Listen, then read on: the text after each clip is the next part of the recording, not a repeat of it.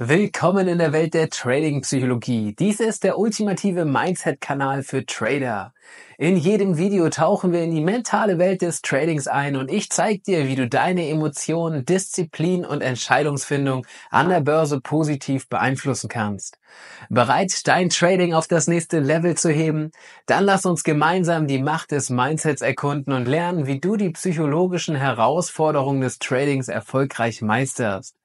Den ersten Step kannst du mit der kostenfreien Trading Mindset Challenge auf meiner Website mindset-trader.de machen. Mein Name ist Marta Radovcic und in diesem Video geht es um ein Thema, das von meinen Teilnehmern im Coaching sehr, sehr oft angesprochen wird, nämlich um Overtrading. Ich erkläre dir, was Overtrading ist und gebe dir klare Strategien mit an die Hand, wie du Overtrading vermeiden und vor allem auflösen kannst. Lass uns keine Zeit verlieren, abonniere den Kanal und ab geht's ins neue Video.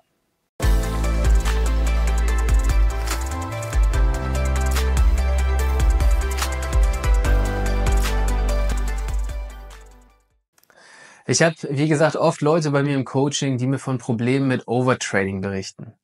Zu Beginn einer Trading-Periode oder auch Challenge sieht alles noch ganz gut aus, aber mit zunehmender Dauer schleichen sich dann immer mehr Fehler ein. Zunächst gemachte Gewinne werden dann sehr, sehr schnell wieder abgegeben und sie rutschen manchmal sogar direkt in den Drawdown. Die dadurch entstehenden Emotionen machen die ganze Sache noch schlimmer und der Teufelskreis ist perfekt. Dieses Phänomen, das gucken wir uns heute mal ein bisschen genauer an. Wir beginnen dazu mit einigen grundlegenden Fragen. Erstmal, was ist Overtrading überhaupt? Im Kern bedeutet Overtrading, dass du als Trader mehr handelst, als es deine Strategie vorsieht. Das kann in Form von zu vielen Trades in einem zu kurzen Zeitraum, zu großen Positionen im Verhältnis zum Gesamtkapital oder durch das Eingehen von Trades außerhalb deiner Handelsstrategie geschehen. Es ist ein Verhalten, das oft durch emotionale Entscheidungen angetrieben wird, anstatt durch fundierte strategische Überlegungen. Dann stellt sich die Frage, warum ist Overtrading ein Problem? Naja, Overtrading kann deinen Handelserfolg tatsächlich ernsthaft gefährden. Es kann zu unkontrollierten Verlusten führen, da die Risiken nicht mehr angemessen gemanagt werden. Zudem ist ein Grundbaustein des Overtradings, dass du als Trader deine Handelsstrategie nicht konsequent verfolgst. Das hat nicht nur einen Einfluss auf dein Handelskonto, sondern tatsächlich auch psychische Folgen. Du nimmst dir nämlich die Möglichkeit, aus deinen Erfahrungen zu lernen und dich als Trader effektiv weiterzuentwickeln, weil deine Handlungen schlichtweg nicht systematisierbar sind. Das ist echt fatal. Die typischen Anzeichen von Overtrading sind sehr, sehr vielfältig. Sie umfassen unter anderem ein ständiges Beobachten des Marktes und das Gefühl, ständig handeln zu müssen. Viele Trader, die Overtrading betreiben, finden es schwer, eine Handelspause einzulegen, selbst wenn die Marktbedingungen nicht so ideal sind.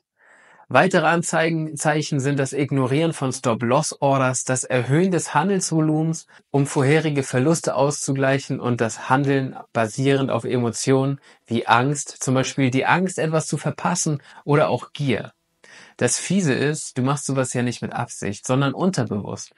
Und dadurch ist es extrem schwer, diese eigenen negativen Handlungen bei sich selbst zu bemerken. Zudem sind die ständigen, schwer erklärbaren negativen Erfahrungen ein ganz klarer Angriff auf dein Selbstbewusstsein. Was sagt denn die Trading-Psychologie zum Thema Overtrading? Und was sind Auslöser von Overtrading? Ein bisschen haben wir darüber auch schon gesprochen. Die Trading-Psychologie ist der wissenschaftliche Ansatz beim Versuch, psychologische Vorgänge von Tradern zu erkennen, zu beschreiben und Maßnahmen zu entwickeln, negativen Verhaltensweisen im Trading entgegenzuwirken. Zum Thema Overtrading findet man in der Trading-Psychologie sehr viele Ansätze, von denen ich dir hier einfach mal ein paar elementare aufzeigen möchte. Um einen Umgang mit dem Thema Overtrading zu finden, ist es erstmal elementar zu verstehen, dass es nicht nur darum geht, die Märkte, sondern vor allen Dingen sich selber zu verstehen. Unsere Gedanken, Emotionen und Verhaltensweisen haben direkte Auswirkungen auf unsere Handelsentscheidungen. Einer der größten Trigger für Overtrading ist die Angst, eine Gelegenheit zu verpassen. Dieses Gefühl vielleicht kennst du es auch als FOMO, Fear of Missing Out, kann dazu führen, dass du als Trader voreilig handelst, ohne deine Strategie zu berücksichtigen. Ein weiterer emotionaler Auslöser ist die Reaktion auf Verluste, das sogenannte Revanche Trading. Viele Trader versuchen dabei ihre Verluste schnell auszugleichen, was oft zu überhasteten und schlecht durchdachten Trades führt. Die Emotionen Stress bzw. Angst und auch Gier sind ebenfalls zwei wichtige Faktoren, die zu Overtrading führen können. Stress, sei es durch finanziellen Druck oder durch die Volatilität des Marktes verursacht, kann zu impulsiven Entscheidungen führen. Gier kann dich dazu verleiten, unnötig hohe Risiken einzugehen in der Hoffnung auf schnelle und große Gewinne. Beide Emotionen sind sehr, sehr mächtig und können deine Fähigkeit als Trader stark beeinträchtigen, eben rational und gemäß deiner Handelsstrategie zu agieren. Das war jetzt nur ein kleiner Ausschnitt an möglichen Auslösern und du siehst, dass diese sehr vielfältig sein können. Um Overtrading wirklich aufzulösen, muss man sich immer die individuelle Situation des Traders anschauen. So 0815 Standardprogramm zum Auflösen des Problems kann es aufgrund der Individualität von uns als Menschen niemals geben. Was allerdings klar ersichtlich ist, es geht beim Thema Overtrading immer auch um Emotionen. Zur Veranschaulichung habe ich dir jetzt noch ein kleines Beispiel mitgebracht. Stell dir vor, Overtrading im Aktienmarkt ist wie die Fahrt mit in einem Auto auf einer kurvenreichen Bergstraße. Du bist der Fahrer von diesem Auto, dein Tradingkonto ist das Fahrzeug und die Finanzmärkte sind die unberechenbaren Straßen. Wenn du das erste Mal auf dieser Straße fährst, spürst du die Aufregung. Das Gaspedal zu drücken gibt dir so ein Gefühl von Macht und Power, Geschwindigkeit, so yay. Aber je schneller du fährst, desto schwieriger wird es, die Kurven zu meistern. Anfangs mag es vielleicht noch so ein bisschen aufregend sein, doch bald wird es verdammt gefährlich. Dieses rücksichtslose Fahren ist vergleichbar mit Overtrading, dem häufigen unüberlegten Eingehen von Trades, angetrieben durch die Aufregung und Hoffnung auf den schnellen Gewinn, der bestimmt nach der nächsten Kurve kommt. Und jeder erf erfahrene Fahrer weiß, dass es auf den Straßen eben nicht um Geschwindigkeit, sondern vor allem um Kontrolle geht. Es geht darum, die Straße zu kennen, die Geschwindigkeit anzupassen und auf unvorhersehbare Ereignisse richtig zu reagieren. Im Trading bedeutet das, deine Emotionen zu kontrollieren, eine durchdachte Strategie zu verfolgen und vor allem auch geduldig zu sein und auf seine Chance zu warten. Stell dir eine Situation vor, in der du vielleicht zu schnell in eine Kurve gefahren bist und beinahe die Kontrolle verloren hättest. Das entspricht den Momenten im Trading, in denen du aus Gier oder Angst gehandelt hast, anstatt auf deine Strategie und Analyse zu vertrauen. Jedes Mal, wenn du die Kontrolle verlierst, riskierst du nicht nur dein Fahrzeug, also dein Tradingkonto, sondern auch deine Sicherheit und Zukunft als Trader. Das Geheimnis eines guten Fahrers, genau wie die, wie, wie das eines guten Traders, liegt in der Selbstbeherrschung. Es geht darum, die Route zu verstehen, das Wetter oder in deinem Fall die Charts zu lesen und entsprechend zu handeln. Das bedeutet auch zu wissen, wann du eine Pause einlegen musst, um dich zu erholen und die Fahrt bzw. dein Trading mit erneutem Fokus und neuer Energie fortzusetzen. Indem du es schaffst, Overtrading zu vermeiden, wählst du den sicheren, kontrollierten Weg auf deiner Reise durch die Finanzmärkte. Du wirst vielleicht nicht immer der Schnellste sein, aber du wirst weiterhin sicher fahren und letztlich dein Ziel erreichen. Finanzielle Unabhängigkeit und Erfolg im Trading. Und die, die auf diesem Weg vielleicht mehr Geschwindigkeit haben und an dir vorbeisausen, die werden mindestens genauso schnell aus der Kurve fliegen und spätestens dann hast du sie wieder überholt. Nachdem jetzt klar ist, dass Overtrading auf jeden Fall vermieden werden sollte, habe ich natürlich, wie fast immer, ein paar konkrete Handelsansätze für dich. Tiefgreifendere Details dazu gibt's dann bei mir im Coaching, aber mit den hier aufgeführten Punkten kannst du auf jeden Fall schon sehr, sehr viel erreichen. Eine der effektivsten Maßnahmen ist, ich will schon fast sagen mal wieder, ist das Setzen klarer Handelsziele und Grenzen. Es ist wesentlich, im Voraus festzulegen, wie viele Trades du pro Tag, pro Woche oder pro Monat tätigen willst und welche maximale Risikogrenze pro Trade für dich noch akzeptabel ist. Diese Vorgaben helfen dir diszipliniert zu bleiben und nicht von deinem Plan abzuweichen, selbst wenn der Markt noch so verlockende Gelegenheiten bietet, die halt nicht so ganz deinem Setup entsprechen.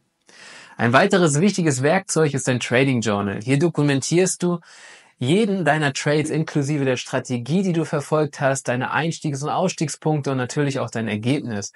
Aber ein Trading Journal ist mehr als nur die Aufzeichnung deiner Transaktion. Es sollte auch deine Gedanken und Gefühle für jeden Trade enthalten. Das hilft dir, Muster in deinem Verhalten zu erkennen und zu verstehen, deine Emotionen deine Entscheidungen beeinflussen. Und als dritten Punkt möchte ich dir die emotionale Selbstregulierung mit auf den Weg geben. Es ist tatsächlich entscheidend, dass du lernst, deine Emotionen zu kontrollieren, nicht zu unterdrücken und halt nicht zuzulassen, dass Stress, Gier und Angst deine Handelsentscheidungen beeinflussen.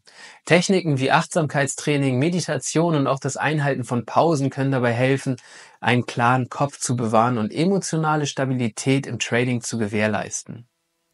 Eine ganz wichtige Mindset-Änderung zur Vermeidung von Overtrading die auch auf deine emotionale Befindlichkeit Einfluss hat, ist schlichtweg die Akzeptanz, dass nicht jeden Tag gehandelt werden muss. Es ist besser, auf qualitativ hochwertige Setups und Handelsmöglichkeiten zu warten, anstatt ständig am Markt aktiv zu sein. Diese Geduld und Disziplin zu entwickeln, ist entscheidend für langfristigen Erfolg im Trading.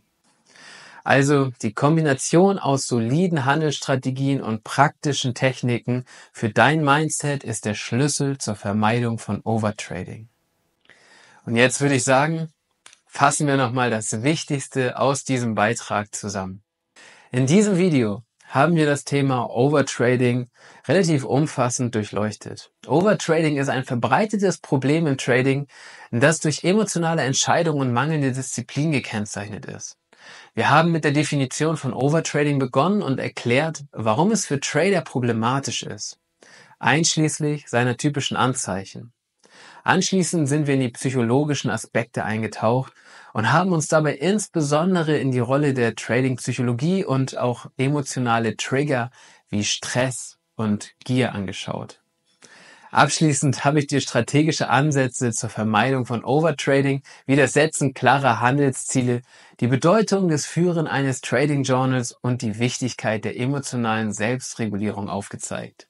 Und wenn du jetzt Lust hast, einen ersten oder vielleicht ja auch schon weiteren Schritt in Richtung profitables Trading Mindset zu gehen, dann findest du auf meiner Website mindset-trader.de einen qualitativ sehr hochwertigen Free Content in Form der kostenfreien 5 Tage Trading Mindset Challenge.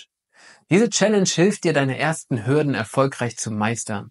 Du kannst mich über die Website natürlich auch sehr gern kontaktieren, wenn du dich mit mir über die Themen Trading Psychologie und Trading Mindset austauschen möchtest und dir Begleitung auf deinem Weg wünscht. Und jetzt wünsche ich dir, wie immer, eine entspannte Handelswoche.